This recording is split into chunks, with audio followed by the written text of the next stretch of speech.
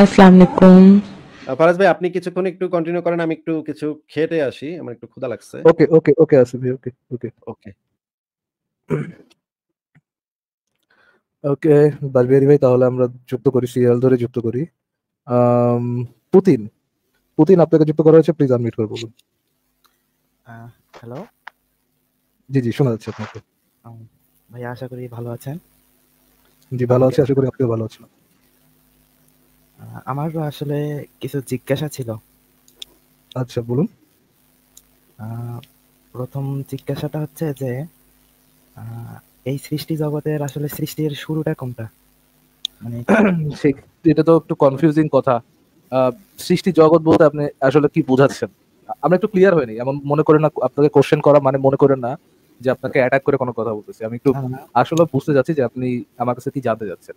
আ সৃষ্টি হ্যাঁ। জগৎ বলতে আপনি আসলে কি বোঝাচ্ছেন? সৃষ্টি জিনিসটা কি? আচ্ছা, হ্যাঁ। তো আমি আসলে বিষয়টা জানি যে হচ্ছে সৃষ্টি কাকে বলে। যেমন জিরো থেকে কোনো কিছু তৈরি বা উৎপত্তি হওয়াকেই সৃষ্টি বলা হয়। আর একটু ক্লিয়ার করে দিই পরম শূন্য থেকে যদি কোনো একজন বুদ্ধিমান সত্তা কোনো কিছুকে এক্সিস্টেন্স নিয়ে আসে তাহলে সেটাকে সৃষ্টি বলে। পরম শূন্য থেকে যেখানে কিছুই নেই। বা এক্স নিহিলো এক্স নিহিলো লিখে সার্চ করলে পাওয়া যাবেন। হ্যাঁ, পরম শূন্য বা এক্স নিহিলো থেকে কোনো একজন বুদ্ধিমান স্রষ্টা, কোনো একজন কর্তা যদি কোনো কিছুকে অস্তিত্বে নিয়ে আসেন সেটাকে সৃষ্টি বলে। তো যদি এটাকে সৃষ্টি বলে তাহলে আমার আমার কাছে তো পুরা মহাবিশ্বে সৃষ্টি বলে কোনো কিছু নাই। আপনি আপনি কি আমাকে সৃষ্টির কোনো কিছু একটা সৃষ্টি হয়েছে এরকম কোনো উদাহরণ দিতে পারবেন? আসলে আমি ওটাই আপনার কাছে জানার চেষ্টা করতেছিলাম। মানে আমি এই বিষয়টা জানি না। সুতরাং জিজ্ঞাসা এটাই ছিল আমার আমিও তো আমিও তো জানি না ভাই। আমিও তো মহাবিশ্বে কোনো সৃষ্টি দেখছি না। এরকম কোনো জিনিস। আচ্ছা সৃষ্টি কোনো আমি কি আমার অবস্থানটা ক্লিয়ার করতে পারি? হ্যাঁ, করতে পারেন। কিন্তু সৃষ্টি জিনিসটা যদি আগে ক্লিয়ার করতেন সেটাই মানে আলোচনার জন্য ভালো হইতো আরকি। আচ্ছা, তাহলে আমি আমার ঘটনাটা বলি। সেটা হচ্ছে যে অনেক দিন থেকে আর কি আমি ধর্ম এটা আমার বিশ্বাস হয় না। আমাদের সমাজে তো অনেক প্রচলিত ধর্ম আছে। তবে আমি সমাজে চলার পথে আমার কিছু ভাই, বড় ভাই, সিনিয়র পারসন আমাকে কিছু বোঝানোর চেষ্টা করে যে আসলে তুমি যে কোনো সৃষ্টিকর্তায় যে বিশ্বাস করো না, এটার আসলে প্রমাণটা কি? কিংবা আরও অনেক কিছু বলে প্রমাণ কি বিশ্বাস না করার প্রমাণ কি? হ্যাঁ। তো তারা সে তো সে আগে থেকেই জানে যে আপনি বিশ্বাস করেন না। উইথ বিশ্বাস না করার প্রমাণ কীভাবে থাকতে পারে? আপনি সে হ্যাঁ, তো জানেই যে আপনি বিশ্বাস করেন না। নাকি সে জানতে চাচ্ছে যে সৃষ্টিকর্তা যে নাই এটার প্রমাণ কি? এরকম কিছু? আ ঐরকম কিছু কিন্তু আমি এখন ঠিক গোছায় বলতে পারতেছি না। আমি অনেক এক্সাইটেড আপনাদের সঙ্গে কথা বলার আচ্ছা সমস্যা নাই, সমস্যা নাই, সমস্যা নাই। বলেন। যতটুকু পারেন বলেন সমস্যা। উনি আমাকে কিছু প্রশ্ন মানে আমাকে কিছু ভাবতে বলেছিল যে মানে আমাকে কিছু বলেছিল যেটার উত্তর আমি সেই সময় তাকে সরাসরি দিতে পারি নাই। তো আমি আপনাদের কাছে আসলাম যে আপনাদের কাছে বিষয়টা ক্লিয়ার হওয়ার জন্য। তো উনি বলেছিল এমন যে মানে তাহলে কিসের থেকে এত কিছু তৈরি হলো? মানে কিসের থেকে আমরা আসলাম? শুরুটা আসলে তাহলে কি মানে কিসের থেকে হয়েছে? শুরুটা তো এখান থেকে। শুরু সে তো বলে দিছে কোথা থেকে শুরু হইছে। শুরু তো এখান থেকে হইছে। আ আপনি সৃষ্টিকর সৃষ্টিকর্তা রিলেটেড, সৃষ্টিকর্তার প্রমাণ রিলেটেড যত যুক্তি শুনবেন, যত প্রমাণ শুনবেন, যাই শুনবেন, তার পুরাটাই পুরাটাই বলতে মোর দ্যান 99% আ এইটার এইটা নিয়ে ঘেরা। যে যেখানে আমাদের জ্ঞানের শূন্যতা সেখানেই সৃষ্টিকর্তা। এই যে উনি তো প্রমাণ দিলেনই যে তাহলে এটা শুরু কীভাবে? উনি নিশ্চয়ই জানেন না এটা শুরু কীভাবে। তিনি নিজেও জানেন না এবং তিনি একটা কোশ্চেন করছেন। অ্যাজ ইফ তার না জানাটাই অ্যাজ ইফ তার না জানাটাই হচ্ছে সৃষ্টিকর্তার প্রমাণ। তার না জানা তো কোনো সৃষ্টিকর্তার প্রমাণ না, তাই না? এবং তিনি তার প্রশ্নের দ্বারা সেই উদাহরণটাই দিলেন যে এটা শুরুটা কোথায়? আপনি বলবেন এটা শুরুটা এখান থেকে আপনার প্রশ্ন দিই যে আমরা জানি না এজন্য সৃষ্টিকর্তা। কিন্তু এটা তো আচ্ছা। কোনো লজিক্যাল ইয়া না। মানে এটা তো কোনো লজিক্যাল কনক্লুশন না যে আমরা যে জিনিসটা জানি না সেখানেই আমরা সৃষ্টিকর্তা বসাই দিব। হ্যাঁ, বারবিয়ারি ভাই কিছু বলবেন? বারবিয়ারি ভাই দেখেন আমি কিন্তু বেশি ফকর, ফকর করি। আপনি কিন্তু আমার কথার মাঝখানে কথা বলতে পারেন। মিউট করে থাকলে হয়তোবা একটু না, না ইয়া হবে। কথা কম বলতে পারবেন আরকি। না, না আপনি তো ঠিকই বলেছেন। ও জানে না সেই জানা না জানাটা প্রমাণ হিসেবে দাবি করছে যে আমি তাহলে বলো কে, কে করেছে? তার মানে কেউ একজন করেছে। এই যে পরপর এই কথাগুলোকে সাজাচ্ছে আরকি। ওই যে প্যারাডক্স তৈরি করছে আরকি। হ্যাঁ, আমার না জানাটাই হচ্ছে জানা। হ্যাঁ, হ্যাঁ জানা। আমার না জানাটাই প্রমাণ। ঈশ্বর থাকার প্রমাণ। এই এই প্যারাডক্স তৈরি করছে আর কি আচ্ছা ফারাজ ভাই আমরা তাহলে প্যারাডক্স নিয়ে মনে হয় এই সময় হয়েছে এবারে আমি এতদিন অপেক্ষা করছিলাম যে প্যারাডক্স আচ্ছা বাজবিহারি ভাই আপনার ফেসবুক আইডি আছে না আমি আপনার ফেসবুক আইডি খুঁজে পাইতেছি না আপনার ফেসবুক আইডি আছে না বাজবিহারি ভাই হ্যাঁ আছে তো আচ্ছা আমি তো এখান থেকে দেখতে পারি আপনার। আচ্ছা আপনি আমাকে এই আচ্ছা আচ্ছা আরেকটা আচ্ছা। আছে আরেকটা আছে নিধুরাম রাঁধুর আচ্ছা বাজবিহারি নামেই দেখি একটু সার্চ করে দেখি। বাংলায় লেখা কিন্তু আচ্ছা। আপনার সাথে আমার কিছু মানে কথা বলা মানে অনেক কথাবার্তা থাকে। ইয়ে থাকলে ভালো হইতো আর কি। কথাবার্তা বললে ভালো হইতো। আমারও কিছু মানে পয়েন্ট আছে যেটা নিয়ে আর কি জনগণের মাঝে উল্টাপাল্টা ইয়ে ছড়ানো হচ্ছে তো। হ্যাঁ। উল্টাপাল্টা কয়েকটা দাবি ছড়ানো হচ্ছে। ওইটা ওইটা নিয়ে একটু কথা বলা দরকার আমি। আচ্ছা ইয়া ভাই একটু চেক চেক করেন তো আপনার কাছে ইয়েটা গেছে কিনা? রিকোয়েস্টটা গেছে কিনা? বাজবিহারি ভাই আচ্ছা আমি চেক করে জানাই ওকে ঠিক আছে হ্যাঁ, আমরা তাহলে বাজবিহারি আমরা প্যারাডক্স আর আমারও কিছু আলোচনা আছে ওইটা নিয়ে আমরা আলোচনা করব পরবর্তীতে। বা আপনি যদি চান প্যারাডক্স নিয়ে কিছু বলতে আপনি এখনও বলতে পারেন। হ্যাঁ প্যারাডক্স কথাটা আমার মনে হয় আমি এতদিন আসলে পিওর প্যারাডক্স তো পিওর রিজনিং এর ব্যাপার তো একটু মানুষকে সড়বড় না করে প্যারাডক্স জিনিসটা বলাটা ঠিক হবে না ওই জন্যই আমি বলিনি এতদিন। এতদিন শুধু ওই শুধু ওই উম, আহ, বিজ্ঞা- বৈজ্ঞানিক যে প্যারাডক্সগুলো ওইগুলো বলতাম। লজিক্যাল প্যারাডক্স হচ্ছে একটু আলাদা বিষয়। তো প্যারাডক্স হচ্ছে প্রথমে ডেফিনেশনটা বলে দিই দুটো বিরুদ্ধ বা বিপরীত বিষয়কে একই সঙ্গে সত্য মনে করার প্রচেষ্টাকে বলা হয় প্যারাডক্স এইটা হচ্ছে প্যারাডক্সের ডেফিনেশন যে কোনো প্যারাডক্স দেখবেন দুটো বিরুদ্ধ অথবা বিপরীত। দুটো বিষয়কে যখন কোনো ব্যক্তি এক করে আপনার কাছে হাজির করতে আমি কি একটা উদাহরণ দেবো বাজবিহারি ভাই? হ্যাঁ বলুন। তাকদিরে যেটা লেখা আছে সেটাই হবে কিন্তু আপনার স্বাধীনতা আছে আপনি চুজ করে নিতে পারবেন কোনটা হবে। হ্যাঁ আমি আমি বলতাম আমি আস্তে আস্তে আসছি। যেমন ধরুন আচ্ছা। আপনাকে আপনাকে আমি একটা গ্রিটিংস কার্ড দিলাম। আপনাকে একটা গ্রিটিংস কার্ড দিলাম। এই গ্রিটিংস কার্ডের প্রথমে লেখা আছে যে কার্ডের পিছনের বাক্যটি সত্য। কার্ডের উপরে লেখা আছে কার্ডের পিছনের বাক্যটি সত্য।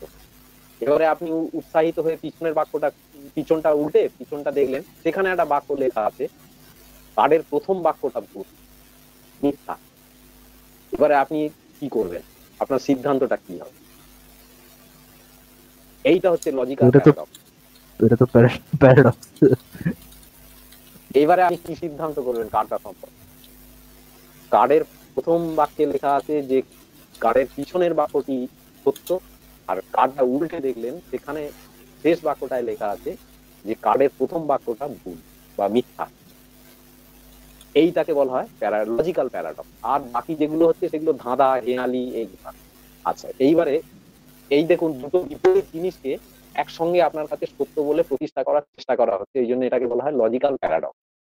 আচ্ছা এইবারে যখন আপনি কোনো সমস্যায় পড়েন, সেই সমস্যায় যথেষ্ট তথ্য থাকলে তার আপনি উত্তর বার করে ফেলতে পারেন। তাকে বলা হয় প্রশ্ন। তাহলে যে সমস্যায় পর্যাপ্ত পরিমাণ তথ্য দেয়া থাকে, যার ভিত্তিতে উত্তর বার করা যায়, তাকে বলা হয় প্রশ্ন। যেমন, পরীক্ষার প্রশ্ন। দেখবেন যথেষ্ট তথ্য দিয়ে আপনাকে একটা অঙ্কের উত্তর জিজ্ঞাসা করা পিতা পুত্রের বয়সের সমষ্টি এত, তিন বছর আগে এত ছিল, তিন বছর আগে পুত্রের বয়স, পিতার বয়সের অর্ধেক ছিল, এরকম তথ্য দিয়ে আপনাকে প্রশ্নটা করা আচ্ছা আর ধাঁধা বা হেয়ালি বা কুয়াশা এইগুলো হচ্ছে উপযুক্ত তথ্য না দিয়ে কিছু তথ্য গোপন করে আপনার কাছে কিছু প্রশ্ন করা। তাকে বলা হয় পাজল তাকে বলা হয় পাজল ওই যেমন ডিম আগে না মুরগি আগে, এটা হচ্ছে একটা পাজল এটা ইনফিনাইট রিগ্রেসে পড়ে। কার্যকারণ তথ্য দিয়ে ব্যাখ্যা করা যায় না ওই জন্য এইটাকে বলা হয় পাজল কিন্তু লজিক্যাল জিনিসটাকে বলা হয় প্যারাডক্স একই সঙ্গে দুটো বিপরীত জিনিস কখনোই সত্য হতে পারে না। এটা আপনি যদি কম্পিউটার থাকেন তাহলে যদি কিছু ফুল টুল আনতে পারেন তাহলে আমি এখনই বলব নাহলে আসিফ ভাইকে আসতে দিন। আচ্ছা ঠিক আছে। হ্যাঁ ভাই আসিফ ভাই আচ্ছা তো এবারে এই প্যারাডক্স সবচেয়ে বেশি ইউজ হয় সাহিত্যে এবং ধর্মগ্রন্থ। সাহিত্যে এবং ধর্মগ্রন্থে যে সাহিত্যিক যত বেশি প্যারাডক্স সৃষ্টি করতে পারে, তার লেখনীর মাধ্যমে সে তত বেশি মনোগ্রাহী লেখা উপহার দিতে পারে। তার সবচেয়ে বড় উদাহরণ হচ্ছে অস্কার ওয়াইল্ড। ওর গল্পে, ওর সাহিত্যে পাতায় পাতায় প্যারাডক্সে ভর্তি এবং সব লজিক্যাল প্যারাডক্স আমি আপনাকে আর একটা লজিক্যাল প্যারাডক্স বলছি। আপনার মানে মাথা ওই কি আসিফ আসিফ ভাই বলেন না, আউলিয়ে যাবে? মনে করুন একটা অপ্রতিরোধ বস্তু, একটা অপ্রতিরোধ বস্তু মহাবিশ্ব থেকে ছুটে আসছে। আর একটা অনড় বস্তু আছে যাকে নাড়ানো যায় না। তাহলে প্রথম বস্তুটাকে প্রতিরোধ করা যায় না, থামানো যায় না, আর একটা অনড় বস্তু আছে যাকে নাড়ানো যায় এই দুটো ছুটে এসে, ওই অপ্রতিরোধ বস্তুটা ছুটে এসে অনড় বস্তুকে ধাক্কা মারলো, তখন কি হবে? প্যারাডক্স হ্যাঁ আমি জানি না কি হবে। হ্যাঁ কারণ এ বস্তু নড়বে না আর ও বস্তু থামবে না। তাহলে সংঘর্ষ হলে কি হবে? এইগুলো হচ্ছে লজিক্যাল প্যারাডক্স এখন আমি ওই আগের দিন এত কিছু বলতে চাই না কারণ এইখানে একদম পিওর রিজনিং ছাড়া আপনি কিছুতেই বুঝতে পারবেন না যেটা ডাউট তো মোটামুটি আমি আসিফ ভাই এলে সব প্রমাণ করে দেবো এইগুলো সব দুটোই প্রমাণ করে দেবো। তো এর জন্য ট্রুথ টেবিলে যেতে হবে। ওই জন্য আগের দিন ওই ট্রুথ টেবিল বলেছিলাম। ট্রুথ টেবিল দিয়ে দেখানো যায় যে দুটো বিপরীত চরিত্র, বিপরীত বস্তু কখনো ব্রহ্মাণ্ডে থাকতে পারে না। কখনোই থাকতে পারে না। যদি থাকতে পারে, তাহলে প্যারাডক্সগুলো সব সত্যি হয়ে যাবে। অর্থাৎ অমনিপোটেন্ট আর অমনিসিয়েন্ট অমনিপোটেন্ট মানে সর্বশক্তিমান। যদি থাকে, তাহলে শয়তানের থাকার কোনো সম্ভাবনা নেই। আর অমনি অমনিসিয়েন্ট থাকলে যে সর্বজ্ঞ সে আপনার সবকিছু জানে, আপনি কি করবেন, না করবেন, তাহলে আপনার ফ্রি উইল থাকবে না। অর্থাৎ অপ্রতিরোধ বস্তু যদি থাকে, তাহলে অনড় বস্তু থাকবে না, ব্রহ্মাণ্ডে। আর অনড় বস্তু থাকলে অপ্রতিরোধ বস্তু থাকবে না। মানে দুটো বিপরীত ক্যারেক্টার কখনো একটা জায়গা থাকতে পারে এইগুলোকে বলা হয় প্যারাডক্স। আরও ছোট ছোট মানে এগুলো হাইলি খুব লজিক্যাল প্যারাডক্স আরও ছোট ছোট আছে। যেমন ধরুন একটা বাংলাদেশের লোক সে বলল বাংলাদেশের লোক সব মিথ্যে পারে একটা বাংলাদেশের লোক বলছে বাংলাদেশের লোক মিথ্যে পারি তার তাহলে তার কথাটা কি সত্য হবে?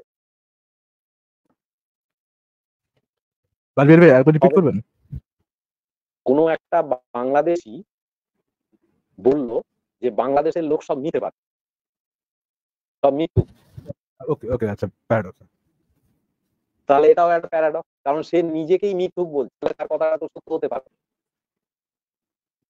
এইরকম অনেক লজিক্যাল প্যারাডক্স আছে, যেগুলো একটা একটা একটা করে প্লেটো, অ্যারিস্টটল, জেনো হ্যাঁ লেবনিস এরা সব অ্যান্সার দিয়ে গেছে। তো এগুলো আমাদের মানে একেবারে সেই শেষ পর্যায়ে পড়ানো হয় প্যারাডক্স তো প্রথমে প্রিয় রিজনিংটা জানতে হয় মানে ট্রুথ টেবিল মাস এই ধরনের ক্রিটিক্যাল কোশ্চেন আপনার ট্রুথ টেবিল মাস এটা জানতেই হবে, কিছু করার নেই।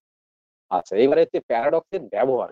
তাহলে ডেফিনেশন হচ্ছে দুটো বিপরীত বা বিরুদ্ধ জিনিসকে, বিষয়কে একই সঙ্গে সত্য বলে প্রচার করার চেষ্টাকে বলা হয় প্যারাডক্স আচ্ছা এর, এটা হচ্ছে ডেফিনেশন আচ্ছা এর উপকারিতা কি? না প্যারাডক্সের ফলেই কিন্তু ক্যালকুলাসের লিমিট বলে যে অঙ্কটা, সেটা আবিষ্কার হয়েছে। এই প্যারাডক্সের উপর ভিত্তি করে।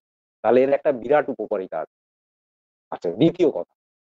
আপনি সেই আমি অনেকদিন আগে সেই রেনে ডেকার নিয়ে বলার সময় বলেছিলাম যে ডাউট আপনি যদি প্যারাডক্স না বোঝেন, আপনি কিন্তু কোনো জিনিসকে ডাউট করতে পারবেন অর্থাৎ আপনি সবসময় লিনিয়ার চিন্তা করতেন মানে সরল রেখায় চিন্তা করতেন আপনি উল্টো চিন্তা করতে পারছেন না। আপনি শুধু ঈশ্বরের চিন্তাই করে যাচ্ছেন। যে ঈশ্বর না থাকতে পারে এরকম চিন্তা আপনি করতে পারছেন তাহলে এই প্যারাডক্স আপনাকে কিন্তু ক্রিটিক্যাল থিঙ্কিং এর দিকে নিয়ে যায়। আপনি বেগুনি খাচ্ছেন, কিন্তু কুমড়োর বেগুনি আপনি ভাবতেই পারছেন ক্রিটিক্যাল থিঙ্কিং করতেই পারছেন। তাহলে ক্রিটিক্যাল থিঙ্কিং এর জন্য কিন্তু প্যারাডক্সের খুব দরকার। পাজল বলুন আর ধাঁধা বলুন যাই করুন লজিক্যাল প্যারাডক্সটা অনেক হাই হয়ে যায়, এগুলো কিন্তু মাঝে মাঝে করতে হয়। নাহলে খুব ক্রিটিক্যাল যে অঙ্কগুলো আছে, সেইগুলো প্রায় খুব মুশকিল হয়ে যায়। সবসময় আমরা যদি সরল রেখায় চিন্তা করি, তাহলে আমরা ক্রিটিক্যাল থিঙ্কিং করতে পারব আর ধর্মগ্রন্থের ছত্রে ছত্রে প্যারাডক্স ছত্রে ছত্রে একদম ঈশ্বরের ঈশ্বরের ডেফিনেশন থেকে প্যারাডক্স শুরু হয়েছে আচ্ছা ফরাজ ভাই, যেমন ধরুন আমাদের মহানবী কথা সত্য। তাই তো? ফরাজ ভাই? হ্যাঁ ভাই আমি শুনছি আহ, বা- ভাই বলেন আপনি। আচ্ছা আসিফ ভাই আমাদের মহানবীর সব কথা সত্য। ধরে নিচ্ছি তর্কের খাতিরে ধরে নিচ্ছি হ্যাঁ তারপর? বেশ। তা উনি বলেছেন যে আগের সমস্ত ধর্মগ্রন্থ হয় সব বাতিল জাহেলিয়া দিন নাকি সব আপনারা বলেন বাতিল। তাই তো? হ্যাঁ ঠিক আছে। তাহলে যিশু নবী থাকে কি করে? হ্যাঁ কিন্তু মানে সব একদম বাতিল সেটা বলে নাই বলেছে যে একটু একটু বিকৃত হয়ে গেছে আর কি। যেটুক তার সাথে যায় সেটুক তার মানে আংশিক সত্য তার মানে আংশিক সত্য প্রতিষ্ঠা করার চেষ্টা করছে এটাও তো লজিক্যাল প্যারাডক্স হ্যাঁ। তাহলে কোন জিনিস কোন অংশটা কোন অংশটা বিকৃত আর কোন অংশটা শুদ্ধ এটা আমরা কীভাবে বুঝব? হ্যাঁ তার মানে প্যারাডক্স হয়ে যায়। আচ্ছা আসিফ ভাই ওই যে সেই লাল গোলাপ এনেছিলেন আর একবার লাল গোলাপটা আনুন তাহলে ক্লিয়ারই করে দিই একবার। লাল গোলাপ? হ্যাঁ একটা লাল গোলাপ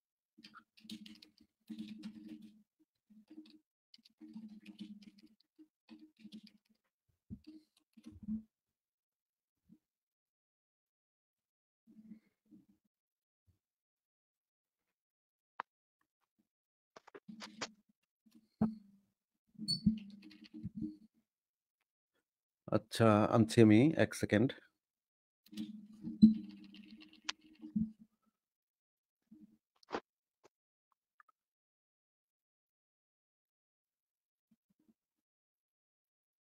হ্যাঁ বলেন।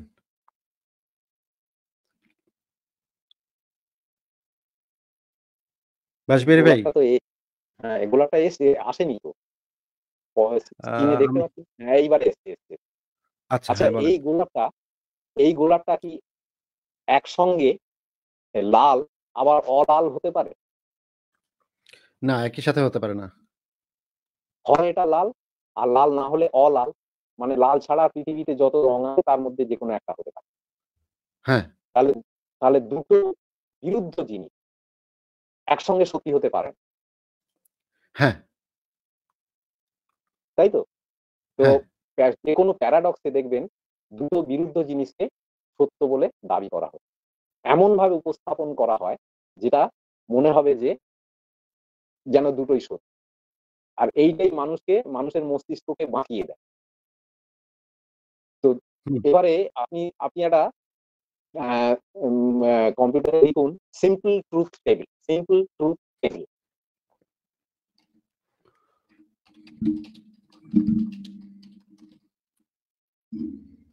হ্যাঁ লিখলাম। দাঁড়ান আমি দিচ্ছি আচ্ছা এবার স্ক্রিনে ওটা আনুন দেখি।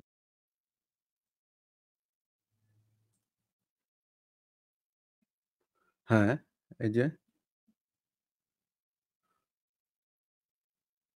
এসছে আপনার স্ক্রিনে হ্যাঁ এবার একটু একটু উ- উপর দিকে তোলার চেষ্টা করুন। দেখি আমি। হ্যাঁ, ছবিগুলা দেখো, নাকি? প্রথম ছবিটাই মনে হয় চা- প্রথম ছবিটাই মনে হয় চাচ্ছেন? নাহলে যে আচ্ছা, যেখানে আছে or আমি বড়- একটু বড় করা যায়? হ্যাঁ বড় করা যায় দাঁড়ান।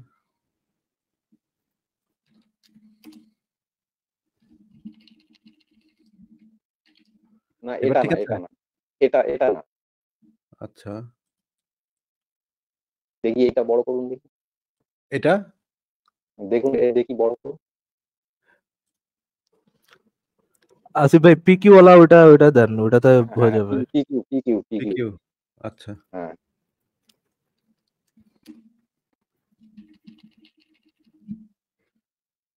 এটা ঠিক আছে?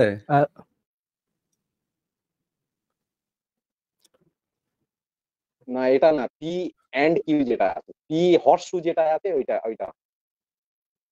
আচ্ছা এটা ওটা হচ্ছে হ্যাঁ পি ফারাজ ভাই দেখেন তো এটা কিনা? হ্যাঁ এটা একটু বড় করুন দেখি। এই অনেক সময় লেগে যায় লজিক্যাল জিনিসগুলো। হ্যাঁ হ্যাঁ হ্যাঁ এইটা এই বলেন। আচ্ছা তো এইখানে দেখুন। দুটো বিষয় পি আর কিউ যদি পি সত্য হয় কিউ যদি সত্য হয় তাহলে পি ইমপ্লাইজ কিউ দেখুন সত্য? পিও আচ্ছা, সত্য হ্যাঁ। কিউও সত্য তাহলে পি অ্যারো কিউ দেখুন সত্য ট্রু তাই তো? কিন্তু হ্যাঁ। পি যখন মিথ্যা দেখুন পি যখন মিথ্যা পি এর তলায় যেখানে এফ আছে একেবারে ফিফথ লাইনে চলে যান। হ্যাঁ। কিউ ট্রু কিউও দেখুন তার পাশে ট্রু মানে কিউও ট্রু তখনও দেখুন পি ইমপ্লাইজ কিউ ওটাও দেখুন ট্রু হ্যাঁ। কিন্তু তার ঠিক ওপরে দেখুন পি সত্য পি ট্রু আর কিউ ফলস হ্যাঁ হ্যাঁ। এর এর রেজাল্টটা দেখুন ফলস ফলস হ্যাঁ। এর হ্যাঁ হ্যাঁ তাহলে আমরা রেজাল্টে কি পাচ্ছি? একটা ট্রু একটা ফলস আর একটা ট্রু অর্থাৎ দুটো যদি একসঙ্গে বস্তুকে আপনি সত্য মনে করেন, একটাই মাত্র ট্রু আছে।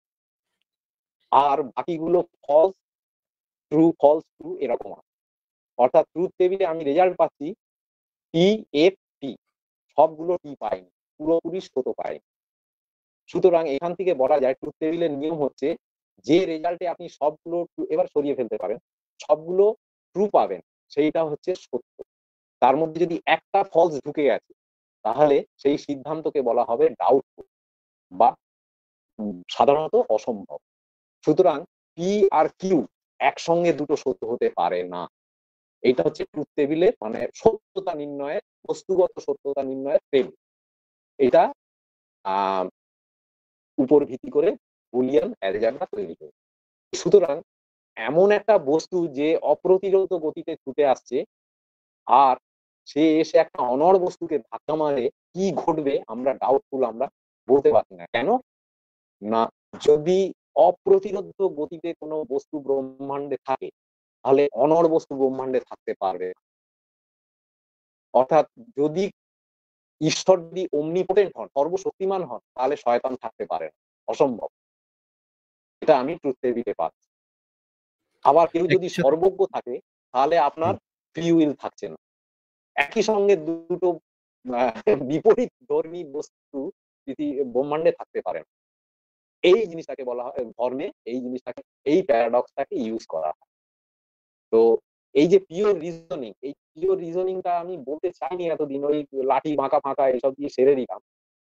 তো আজকে একটুখানি খেয়াল হলো ফরাজ ভাইও ছিল ফরাজ ভাইয়ের মুদ্রার উপরে তো নির্ভর করে। তো ফরাজ ভাই এখন দেখছি বেশ শান্তিতে আছে, যার জন্য বলে ফেললাম আর। তো প্যারাডক্স হচ্ছে তাহলে ডেফিনেশন আমি বলে দিয়েছি, উপকারিতাও বলে দিয়েছি, তার নেচারও বলে দিয়েছি, কয়েকটা উদাহরণও বলে দিয়েছি।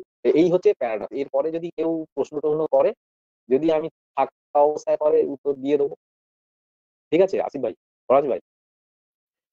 ঠিক আছে, আমি আপনাকে একটা জিনিস বলতে চাচ্ছিলাম যে, ধরেন একজন ঈশ্বরের কথা একজন যে কোনো একটা ক্যারেক্টারের কথা বলা হচ্ছে, সে একই সাথে পরম ন্যায়বান, একই সাথে পরম দয়ালু। একই সাথে পরম ন্যায়বান বা ন্যায় ন্যায় বিচারক এবং একই সাথে পরম দয়ালু এই দুইটা কি একই সাথে হওয়া সম্ভব কিনা? না না এ তো বি- বি- বিরুদ্ধ ধর্ম। ওই যে বললাম প্রথমে লাল গোলাপ যে একই সঙ্গে লাল আবার অলাল হতে পারে।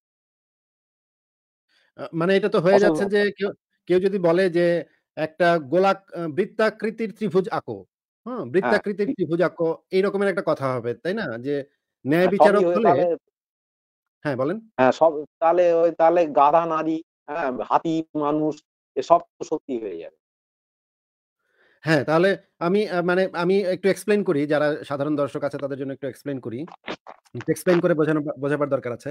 মানে ন্যায় বিচারকের ধারণাটা কি? ন্যায় বিচারকের ধারণাটা হচ্ছে যে যেই বিচারক ন্যায়সঙ্গত কাজ করবে মানে আপনি যেই কাজটা করেছেন সেইটার উপরে শুধুমাত্র সেইটার উপরে নির্ভর করে ডিসিশন মেক করবে যে আপনার উপরে কি শাস্তিটা প্রয়োগ করা হবে।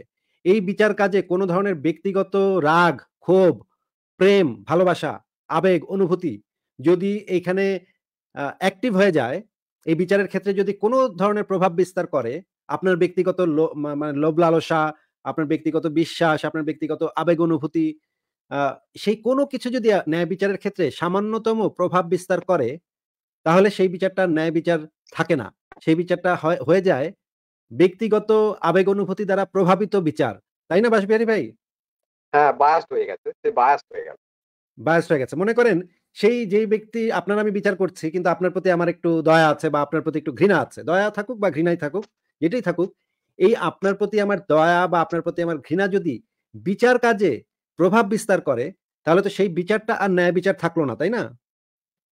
হ্যাঁ, হ্যাঁ। হয় সে হ্যাঁ। শাস্তি দিয়ে ফেলবে, নয় সে কম শাস্তি দেবে। অথবা শাস্তি দেবেই না।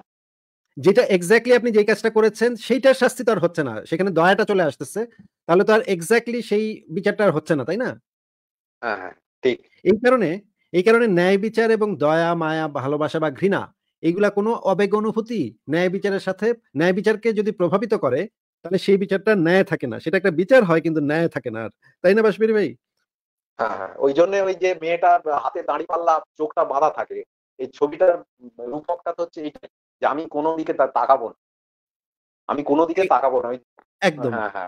একদম। আমাদের আধুনিক বিচার ব্যবস্থাটা এইভাবে তৈরি করা হয়েছে যে বিচারকের কোনো আবেগ অনুভূতি যেন এই বিচার কাজে কোনো ধরনের প্রভাব বিস্তার করে না। এই কারণে এমনকি এমন যদি দেখা যায় যে বিচারকের নিজের ছেলে অপরাধী হিসেবে কোর্টে এসছে, সেই বিচারককে সেই বিচার কাজ থেকে অব্যাহতি দেওয়া হয়। কারণ হয়তো সে তার আবেগবশত এই বিচার কাজে তার আবেগটা, তার পিতার স্নেহ এখানে কোনো একটা বাধা সৃষ্টি করে ফেলতে পারে।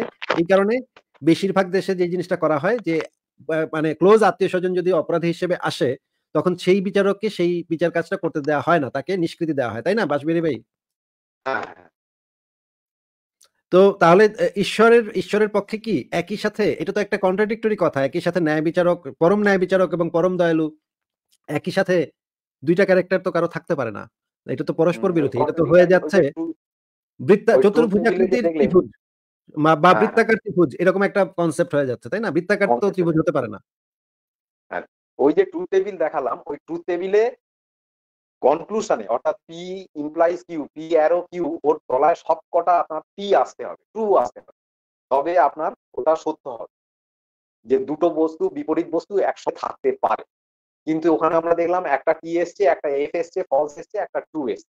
সুতরাং ট্রুথ টেবিলে দিয়ে মানে পিওর রিজনিং দিয়ে অঙ্ক দিয়ে বুঝিয়ে দেয়া গেল যে দুটো বিপরীত চরিত্র, বিপরীত ধর্মী কোনো বস্তু বা বিপরীত দাবি একসঙ্গে কখনো এক্সিস্ট করতে পারে না। যেমন আমি একই সাথে ঢাকাতে এবং একই সাথে নিউ ইয়র্কে বসবাস করতে পারি না। একই সাথে সেটা সম্ভব না। আলাদা সময়ে সম্ভব, কিন্তু একই সময়ে সম্ভব না। আমি ফরাজ ভাইকে তিনটে চারটে পিওর রিজনিং এর প্যারাডক্স এর উদাহরণ দিয়েছি। ঠিক আছে যদি পরে আবার কেউ আসে আবার ব্যাখ্যা করব। আচ্ছা, ঠিক আছে পুতিন আপনার কি আপনার কি কথা শেষ হয়েছিল? আমি তো ছিলাম না। আপনার কি কথা শেষ হয়েছে? না ভাইয়া শেষ হয়নি। আচ্ছা, আপনার কোনো প্রশ্ন থাকলে বলেন তাহলে? আচ্ছা, আমি কি একটি পদার্থ নাকি অপদার্থ? আমি নিশ্চয়ই একটি পদার্থ, তাই না? আপনি যদি নিজেকে অপদার্থ মনে করেন তাহলে তো ভাই সেটা আম আমরা তো আমি তো জানি না ভাই আপনি পদার্থ না অপদার্থ। আমি হচ্ছে পদার্থবিজ্ঞানের ভাষায় বলতেছি। পদার্থবিজ্ঞানের ভাষায় আপনি যেহেতু কথা বলতে পারতেছেন অবশ্যই পদার্থ। কিন্তু আপনি যদি নিজেকে অপদার্থ মনে করেন বা আল্লাহকে অপদার্থ মনে করেন, তাহলে তো ভাই আমার কিছু বলার নাই সেখানে। না, না সেটা না। তো পদার্থের ক্ষুদ্রতম একক হচ্ছে অণু কিংবা পরমাণু। তো এটার পদার্থের সংজ্ঞা কি? আমি এই বিষয়টা জানি না। তো আমি যেটা বলতে চাচ্ছি যে স্থান অধিকার করে থাকে, যার আয়তন আছে, তাকে জড় পদার্থ হ্যাঁ, হ্যাঁ বলে না লোকে? তাহলে যার আয়তন আচ্ছা, আছে আসিফ ভাই এবং স্থান বাজবেরি করে। ওখান থেকে মনে হয় নয়েজ হয় না আসিফ ভাই অনেক?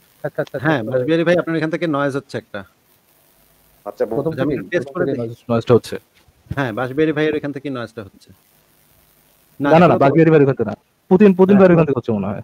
আচ্ছা পুতিন সাহেব আপনার এখান থেকে নয়েজটা হচ্ছে। পুতিন সাহেব আপনি তাহলে তাড়াতাড়ি আপনার প্রশ্নটা করে তাড়াতাড়ি কথাটা বলে হ্যাঁ, হ্যাঁ হ্যাঁ? পুতিন পুতিন ভাইয়ের ওখান থেকে নয়েজটা হচ্ছে। আচ্ছা যাই হোক মূল কথায় আসি। সেটা হচ্ছে আ সেটার ক্ষুদ্রতম একক কি? মানে কিসের থেকে শুরু হলো সেটা?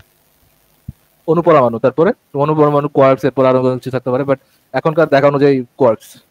হ্যাঁ। তো ফারাজ ভাই আমি প্রথমে যেটা বলছিলাম যে আসলে আ ১ম সৃষ্টিটা আসলে কেমনে হলো কিংবা ১ম জিনিসটা কি? ভাই আপনি তো আপনি আমি তো একমত হইলাম যে সৃষ্টি বলেই তো কোনো কিছু পাওয়া যাচ্ছে না। হ্যাঁ, তবে প্রথম সৃষ্টি এই কথাটাই তো একটা অমূলক কথা। হ্যাঁ, আমি বিষয়টা ক্লিয়ার হয়নি। যেহেতু কিছু না কিছু তো আছে। তো সেটা কিছু না আছে কিছু আছে মানে কিছু না কিছু বলতে? অনেক কিছুই তো আছে। হ্যাঁ, সেই শুরুটা কি আসলে? মানে প্রথমটা কি? তারপরে ১ম এতগুলো উৎপত্তি হলো আপনি আ আপনাকে রূপান্তরিত তাহলে একটু একটু শর্ট করে বলতেই। আমাদের জানার যেখান থেকে আমরা শুরু করতে পারি সেটা হচ্ছে বিগ ব্যাং বিগ ব্যাং এর আগে আমাদের কোনো জ্ঞান নাই। বিগ ব্যাং জিনিসটা কি? আমাদের মহাবিশ্বের এক্সপ্যানশন হওয়াটা যখন থেকে আমাদের মহাবিশ্ব এক্সপ্যান্ড করা শুরু করল। ওই মোমেন্টটাকে বলে ওই মোমেন্ট অফ টাইমটাকে বলে বিগ ব্যাং এর আগে কীভাবে ছিল কি ছিল না ছিল আমাদের ওইটা সম্পর্কে সলিড মানে একেবারে এভিডেন্স সহ সেরকম কোনো জ্ঞান নাই। আচ্ছা হ্যাঁ এবার বলেন এবার বলেন পুতিন। আচ্ছা। তাহলে আমাকে একজন প্রশ্ন করেছিল মানে যে হচ্ছে সৃষ্টিকর্তা থাকাটা যৌক্তিক নাকি না আরে সৃষ্টিকর্তা কো- থেকে আসলো এখানে? সৃষ্টিকর্তা কোথেকে পাইলেন? কি এটা কি? এটা কেমন থেকে আমাদের শুরু সেই শুরু থেকে শেষ পর্যন্ত তো সৃষ্টি হ্যাঁ, হয়েছে কোনো কিছু সৃষ্টি হয়েছে? কোনো কিছু সৃষ্টি হয়েছে? এটাই তো আপনি এখনও আমাদেরকে বুঝাইতে পারলেন না যে কোনো কিছুর সৃষ্টি হয়। তাহলে সেখানে আবার কর্তা আসতেছে কোথা থেকে না এটা একটা অন্য টপিক আমি হচ্ছে ফারাজ ভাইকে বলেছিলাম যে হচ্ছে আমি আমাকে কিছু প্রশ্ন করা হয়েছিল তো আমি সেগুলোর উত্তর দিতে পারি তাহলে আপনি আমাদেরকে একটু বুঝাই দেন আগে যে সৃষ্টি শব্দটার অর্থটা কি একটু বুঝাই দেন। সৃষ্টি হচ্ছে সেটা যেটা জিরো থেকে এক হওয়া কিংবা যেটা কিছুই ছিল না কিন্তু কেউ একজন সত্তা সেটাকে রূপান্তর কেউ মানে একজন সত্তা মানে এখানে আবার সত্তা কোথা থেকে আসলো? কেউ একজন সত্তা থাকে তবে সে রূপ দিছে আর যদি তো কোনো সত্তা না থাকে যেটা হচ্ছে জিরো থেকে না সৃষ্টি মানে- বলে তো ভাই সত্তা আসবেই ভাই। সৃষ্টি সৃষ্টি বলতে তো আমরা মূলত এটাই বুঝেছি কারও দ্বারা সৃষ্টি। এমনি একা একা সৃষ্টি তো এটা বুঝাই না। তো ওরা তো ওইখানে তো আসবে কর্তাটা আসবে আর কি। বাট হ্যাঁ কথা ঠিক আছে মানে পরম সত্য পরম সত্য থেকে কোনো একটা বুদ্ধিমান সত্তা যদি কোনো কিছুকে অস্তিত্বে নিয়ে আসে সেটাকে সৃষ্টি বলি। হ্যাঁ ওইটা আমি আগেও বসে আছি ভাই কিছুক্ষণ আগে বলছি। আচ্ছা তাহলে আমি এই জিনিসটা প্রতিদিন আপনি আমাকে এই জিনিসটা আগে একটু বুঝায় নেন যে একটা যদি পরম শূন্য থাকে সেই পরম শূন্যের ভিতরে আবার কর্তা কীভাবে থাকে? যদি কর্তা থাকে তাহলে তো সেটার পরম শূন্য না। আর যদি পরম শূন্য হয় তাহলে আবার কর্তা কোথেকে এলো? আমি বুঝলাম না আবার যদি বলতেন। আচ্ছা পরম শূন্য জিনিসটা কি? একটু বলবেন? পরম পরম শূন্য শূন্য মানে তো সেখানে কিছুই নাই কিছুই অস্তিত্বশীল না তাই না? তাহলে কিছুই ছিল না তাহলে আমার অস্তিত্বটা কিছুই কিছুই আপনার অস্তিত্ব তো সৃষ্টির সংজ্ঞা অনুযায়ী সৃষ্টির সংজ্ঞা অনুযায়ী সৃষ্টির সংজ্ঞা অনুযায়ী পরম শূন্য থেকে। ওইখানে যে ফিজিক্যালি বা পদার্থবিজ্ঞানের ভাষায় সৃষ্টি বলে কোনো কিছু আছে এটা আমরা বলতেছি না। পুতিন ভাই আপনি একটু মনোযোগ দিয়ে আমার কথা শুনেন হ্যাঁ? সৃষ্টি কথাটা কিন্তু আমরা তুলি নাই আপনি তুলেছেন। আপনার সংজ্ঞা দিয়েছেন আপনি যে শূন্য থেকে একজন কর্তা কোনো কিছু অস্তিত্ব আনলে। আপনি দিচ্ছেন নাকি আমরা দিছি? কে দিছে? আমি দিয়েছি। আচ্ছা তাহলে আমাদেরকে জিজ্ঞেস করেন না যে এটা কেমনে হইল ঠিক আছে? আপনি উত্তর দিবেন এটা যে এটা কেমনে হইল ঠিক আছে? আমি এখানে হচ্ছে প্রশ্ন করতে আসিনি আমি জিজ্ঞেস করতে আসছি আমি এই বিষয়গুলো প্রশ্ন করতে জানি আসেন না কিন্তু জিজ্ঞেস করতে আসছেন। বাও আপনার তো কথাবার্তা প্রশ্ন করতে আসেন না কিন্তু জিজ্ঞেস করতে আসছেন। বাও এটা তো ফ্যান্টাস্টিক কথা। আমি প্রশ্ন বলতে বুঝি যে যার উত্তরটা আমি জানি আপনাকে ওটা বলছি। আর আর জিজ্ঞেস বলতে আমি বুঝি যে যেটা আমি ও, জানি না আমি আপনার জানার জন্য আসছি। ও আচ্ছা আবার ভিন্ন আছে ঠিক আছে? ঠিক আছে অসুবিধা নেই। কিন্তু আপনি আমাদেরকে সৃষ্টি শব্দটা আপনি তুলছেন। সৃষ্টি শব্দটা কিন্তু আমাদের কোনো শব্দ না নাস্তিকদের কোনো শব্দ না আপনার শব্দ তাই না? আমাদেরকে ওটা মানে প্রশ্ন করেন না যে এটা কেমন হইল। আমরা প্রশ্ন করতেছি আপনাকে যে সৃষ্টি আপনি বললেন যে সৃষ্টি হয়েছে কোনো কিছু সৃষ্টি যদি হয়ে থাকে তাহলে সৃষ্টি শব্দটার সংজ্ঞাটা আপনি বললেন একদম জিরো থেকে একদম কোনো কিছু ছিল না সেখান থেকে কিছু যদি আসে তাহলে সেটাকে সৃষ্টি বলা এটা আপনি বলছেন। আচ্ছা মানলাম। তাহলে এখন আপনাকে জিজ্ঞেস করতেছি যে এই যে কোনো কিছুই যে ছিল না সেখানে আবার একটা কর্তা থেকে আসলো? কারণ কর্তা যদি সেখানে একটা থাকে তাহলে তো সেটা তো কোনো কিছুই না এটা তো বলা যাচ্ছে না। সেখানে তো কিছু না কিছু তো ছিলই নাকি? হ্যাঁ আমি এবার বুঝলাম হ্যাঁ। তাহলে ওইটা তো শূন্য অবস্থা না ওইটা তো একটা কিছু না কিছু তো একটা কর্তা ফর্তা মর্তা কিছু একটা ছিল তো এখানে তাই না? তাহলে তাহলে কি এভাবে কি তাহলে তাহলে আপনার আপনার যে যুক্তিটা সৃষ্টির যে সৃষ্টির যে সংজ্ঞাটা দিচ্ছেন সেই সংজ্ঞাটার সাথে কর্তা শব্দটা তো যুক্ত হতে পারে না। কারণ কর্তা যদি থাকে তাহলে তো সেটার সৃষ্টি হলো না। কারণ সেখানে তো শূন্য অবস্থায় তো এক্সিস্ট করবে না তাহলে তো সেখানে একটা কর্তা রয়ে- গেছে। আচ্ছা, বুঝতে পারতেছেন কথা আমার? তাহলে আপনি যখন আপনি যখন সৃষ্টি- সৃষ্টি কর্তা শব্দ দুইটা একসাথে ব্যবহার করছেন এই সৃষ্টি এবং কর্তা এই দুইটা শব্দ একটা আরেকটাকে ইনভ্যালিড করে দিচ্ছে একটা আরেকটার বিপরীতমুখী। কারণ সৃষ্টি শব্দটার সংজ্ঞাটাই হচ্ছে কিছুই থাকবে না কোনো কিছুরই অস্তিত্ব নাই। এর সাথে আবার আপনি বলে লাগাই দিচ্ছেন একটা কর্তা শব্দটা তার মানে কিছু একটা আছে। তার মানে আপনি একই সাথে যে সৃষ্টি কর্তা শব্দটা ব্যবহার করতেছেন এই সব এই শব্দটার মাঝখানে যে সৃষ্টি আর কর্তা এই দুইটা আলাদা আলাদা শব্দ আছে এই দুইটা পরস্পরের সাথে কন্ট্রাডিক্ট করতেছে বিরোধিতা করতেছে। বুঝতে পারতেছেন? হ্যাঁ। কি বুঝেছেন আমাদেরকে যদি একটু বলতেন? আহ, বুঝতে পারলাম এটাই যে যদি সৃষ্টিকর্তা বলা হয় তবে যেহেতু কর্তা বলা হচ্ছে তার মানে সেও এক্সিস্ট করতেছে। সুতরাং শূন্য থেকে কিছু হয়নি। তাহলে ওই জায়গাটাতে যদি শূন্যই থাকে তাহলে তো কর্তা থাকতে পারে না। থাকা উচিত না আর হ্যাঁ। যদি কর্তা থাকে তাহলে তো শূন্য হইতে পারে না ওই জায়গাটা। হ্যাঁ হ্যাঁ আমি এবার ক্লিয়ার বিষয়টা। তাহলে সৃষ্টি বলতে কি কিছু নেই? যা হয়েছে সব রূপান্তর এটা আবারও জিজ্ঞাসা আপনার কাছে। সৃষ্টি বলে কোনো কিছু আছে? এরকম কোনো প্রমাণ আমাদের কাছে নাই? আমরা এরকম কোনো কিছু দেখিও নাই শুনিও নাই? আমাদের কাছে কোনো এভিডেন্স নাই যে কোনো কিছু সৃষ্টি হয়েছে? আমরা যেটা প্রকৃতিতে দেখতে পাই শক্তি একটা থেকে আরেকটাতে রূপান্তর ঘটতে দেখি আমরা। শক্তির কোনো শুরু বা শেষ নাই শক্তির কোনো বিনাশ নেই, যেটা হচ্ছে আপনি সমস্ত স্কুল কলেজে পড়ানো হয়, বিজ্ঞানের একদম প্রথম সূত্র হিসেবে শেখানো হয় যে শক্তি অবিনশ্বর শক্তির কোনো শুরু বা শেষ নাই। এই শক্তি খালি এক মাধ্যম থেকে অন্য মাধ্যমে রূপান্তর ঘটতে পারে। আমরা যে পদার্থ দ্বারা তৈরি, সেই পদার্থগুলো হচ্ছে শক্তির একটা রূপ। এইটুক শুধু মাত্র আমরা বলতে পারি, এইটুক পর্যন্ত আমাদের জ্ঞান আছে। এছাড়া তো ভাই আমরা কিছু বলতে পারব না। আচ্ছা। তো ঠিক আছে ভাইয়া আমার প্রশ্নটাই হচ্ছে তাহলে হয়নি। কারণ যেখানে যাই হোক আমি বিষয়টা বুঝতে পেরেছি। আপনাদের অসংখ্য ধন্যবাদ। আমাকে আপনি এই জিনিসটা নিয়ে আরেকটু চিন্তা করেন যে সৃষ্টি এবং কর্তা এই দুটো একই সাথে এক্সিস্ট করতে পারে কিনা? একই সাথে হ্যাঁ, এক্সিস্ট এটা করাটা কীভাবে সম্ভব? এটা চিন্তা করে আবার আরেকদিন আসেন আরেকদিন আলোচনা করব এটা নিয়ে। হ্যাঁ, আমাকে এটা প্রশ্ন করা হয়েছিল। সেই সময় আমার এটা উত্তর ছিল না তবে এখন আমি বিষয়টা কনফার্ম হলাম আর কি। মানে ধরেন মানে ধরেন ইনফিনিটি এবং মানে এক না ইনফিনিটি এবং জিরো একই সাথে অবস্থান করতে পারে? মানে মনে করেন একটা ইনফিনিটির ভিতরে একটা শূন্য অবস্থা কি থাকতে পারে? না।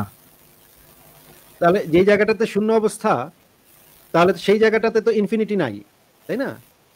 হ্যাঁ আর যদি হচ্ছে মনে করেন সৃষ্টিকর্তা বলা হয় ইনফিনিটির যে সংজ্ঞা ইনফিনিটির সংজ্ঞাটাই হচ্ছে কোনো সীমা থাকবে না। তাহলে হ্যাঁ, সীমা যদি থেকে যায় ওই যে জায়গাটা শূন্য সেখানেই তো একটা সীমা তৈরি হলো তার যে এই জায়গাটাতে ইনফিনিটি এক্সিস্ট করে না। এইরকম একটা জায়গা আছে পয়েন্ট আছে।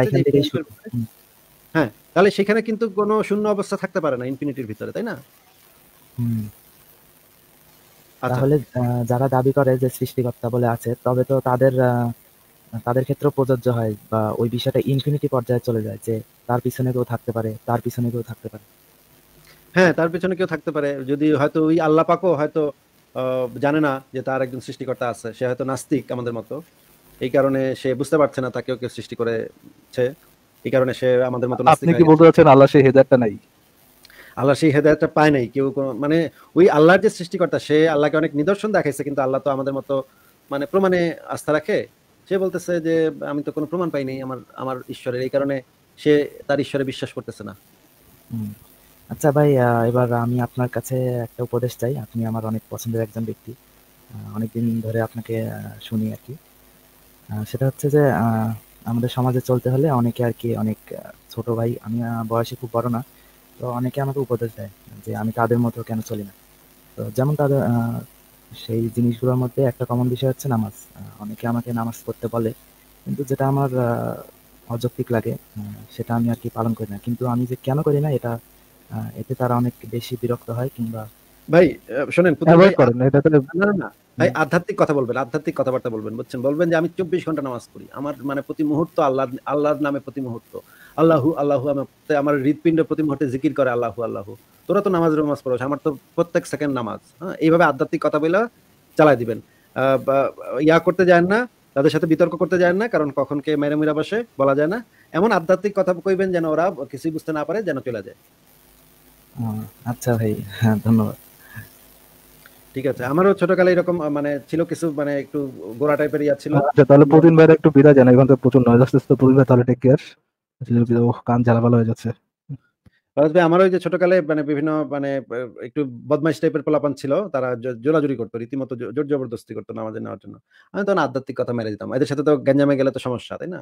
আধ্যাত্মিক মেরে দিতাম। আরে আমার প্রত্যেক সেকেন্ড হচ্ছে আল্লাহ আমার হৃৎপিণ্ড কইতেছে আল্লাহ। তো তোরা তো নামাজ পড়ো আর আমি তো আমি তো সারাক্ষণ আল্লাহর নামি আমি তো সারাক্ষণই নামাজ পড়ি। এরকম আধ্যাত্মিক কথা মেরে দিলে ওরা বোধাই হয়ে যায় যে বুক ছিল আল্লাহকে পাওয়া যাবে। Yes, yes. মারতে হয় আধ্যাত্মিক মেরে দিতে হয়।